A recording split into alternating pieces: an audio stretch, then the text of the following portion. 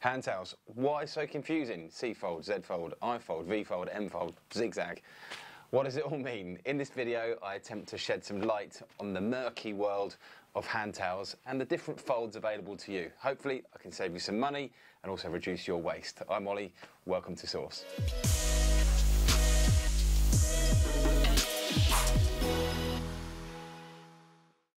I've already done this video once and it was so long and so boring, I thought I've got to do it again and cut to the chase. So the letter that comes before each of the folds, C fold, V fold, I fold, Z fold, M fold, all that is describing is the profile of the hand towel. So as you see here, this is a C fold, this is a Z fold, and this isn't actually an I fold or a V fold just because of the way it, it folds in half.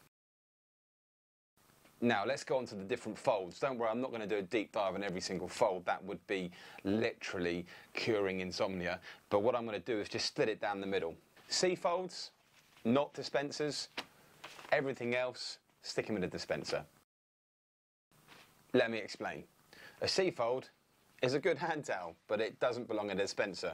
Why? Well, as you can see here, I can't get one out at a time. They're not what's called in the industry self-presenting, unlike the other hand towels, which we'll come on to next. Therefore, when you go to try and dry your hands with a paper towel in a dispenser, which is a C-fold, you're probably going to get more than one, so a bit of a waste. Furthermore, this is actually a really big hand towel, as you can see here when I open it up. But you know that everyone who's using a C-fold is just patting their hands on either side and isn't really using the whole thing. So to summarise, if you're going to use a C-fold, then make sure you put it on the side of a washroom in a little basket like this where people can just take one at a time. Why do they not come out more than one at a time? Because they're just stacked on top of each other. They're not interleaved, which is a perfect segue into all the other hand towels. Here we have a couple of examples from our good friends over at Katrin. Now, these products do belong at a dispenser. Why? Because of that phrase I used earlier, self-presenting. As you can see here, each towel is locked into the next one. Therefore, when you pull them out of the dispenser, the next one presents itself, aka self-presenting. Genius stuff.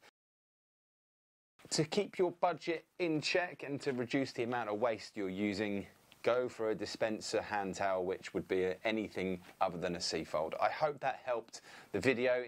If it was worthwhile watching and sticking with me, I thank you for that, by the way, then hit the notification bell and you'll be alerted to the next video that we post. Thanks for watching. See you in the next one.